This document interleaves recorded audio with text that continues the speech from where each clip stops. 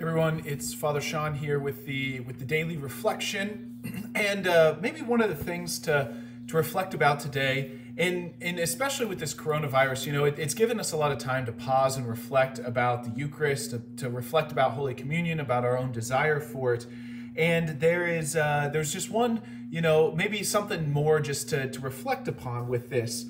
And so in 1 Corinthians chapter 12, we get we get the reading of Paul uh, kind of uh, communicates or he, he goes over the institution narrative. And we have this reading at Holy Thursday about um, Jesus took bread, he gave, and then he quotes Jesus, Take this, this is my body given up for you. After it, though, Paul has a little bit of commentary, which unfortunately we never get in the lectionary cycle. We don't get we don't get this where we have to we have to read this.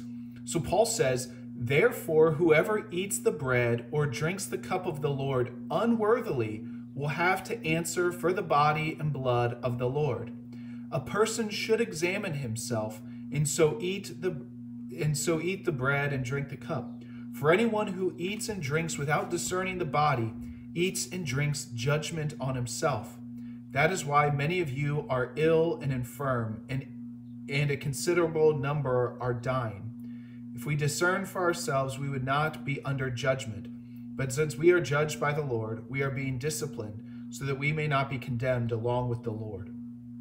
All right, that's 1 Corinthians chapter 12, verses 27 through uh, through 32. And so he, he talks about not eating, not receiving the Eucharist unworthily and that that the, if we if we do unworthily we don't we don't drink we don't consume the body and blood but it, it condemns us. So we should examine ourselves before receiving the eucharist. And unfortunately i think this is this has been lost. Maybe there's been some extremes. There have been extremes on one end where people um, only receive communion once a year because they're never worthy. They and they you know they have to go to confession immediately beforehand and that's the only possibility of them being worthy.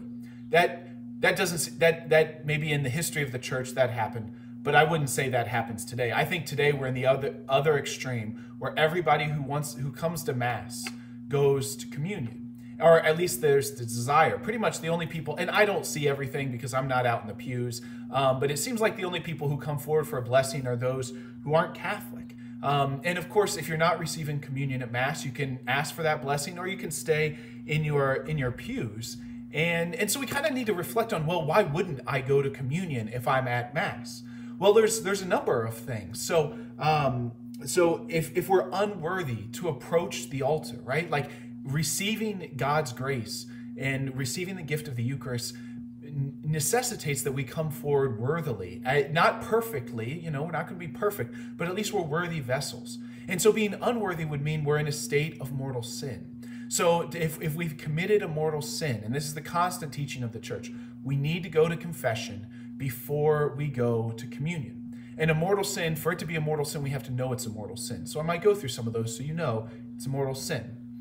Um, so so committing mortal sin, I mean things like um, things like skipping mass on Sunday we should go to confession before we come to communion. Not missing mass, not like if we're sick or um, you know we're with our infant in the ICU or or things like missing mass and skipping mass are two different things. Skipping mass means I put my my son's soccer game more important than mass. And if we skip mass for that, it's saying, well, Jesus, you're less important than this, than my band concert, than my my, you know, whatever, than you know, getting getting up and getting chores done. So skipping Mass is a mortal sin, and before we present ourselves for communion again, we need to go to confession.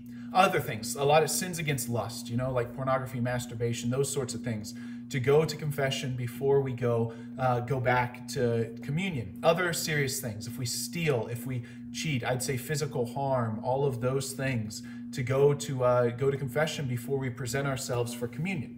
All right, so those are some mortal sins, but then the other ones are related to breaking the unity of the church. So if we get married outside of the church, we need to have that regularized. We need to get married in the church before we go to communion.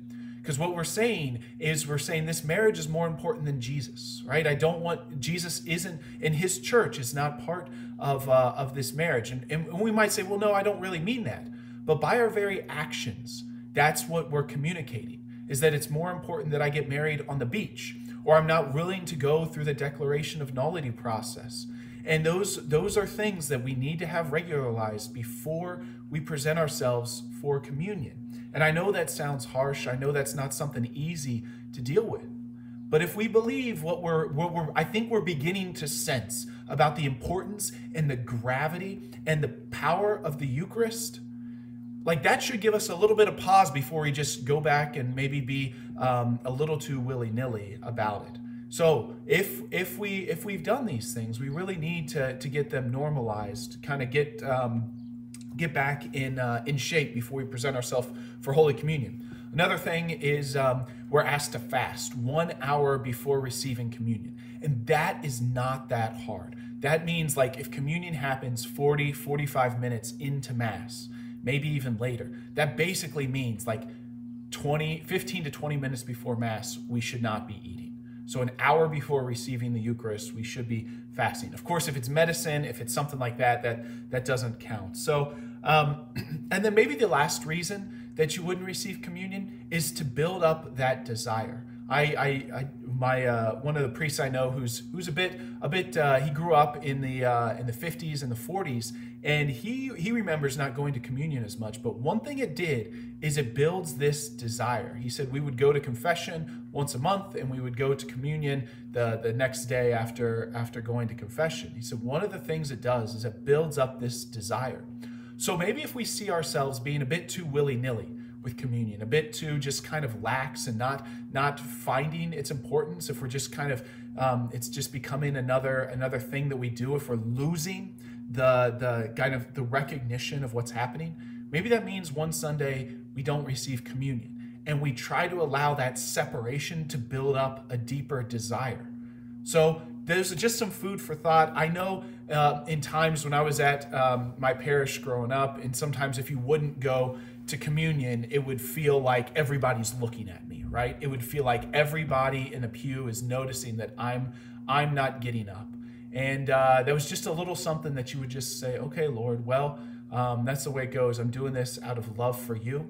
And I think if, if it happens more regularly, it uh, it becomes less it becomes less of like what's going on why you know like um, so i think it needs to be part of our catholic life um, to recognize the power of the communion to take st paul seriously that we should not present ourselves to the lord to receive the eucharist unworthily but we should come with a clean heart a pure conscience and allow the lord to fill us with his grace all right, this is the daily reflection for uh, for uh, today. Look forward to seeing everybody a little bit later. Just a reminder, we do have confessions available tonight at St. Joseph, 6 p.m. to 8 p.m., and you'll kind of go in the side door. We'll do the whole hands-free business. So take care, God bless, and uh, we'll see you next time.